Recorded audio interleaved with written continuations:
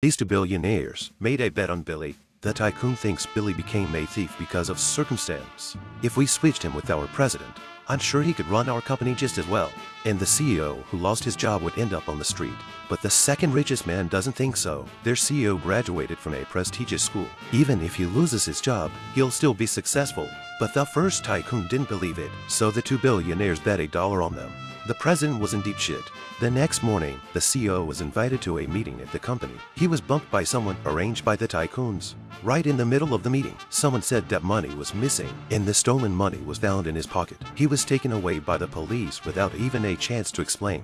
When he got to the police station, they found contraband on him. He was put in jail. On the other side, two rich men bailed Billy out. They promised him an $80. 000 a year job as president, a luxury car, and a mansion. Billy couldn't believe it, but then he thought, he's got nothing to lose, so he said yes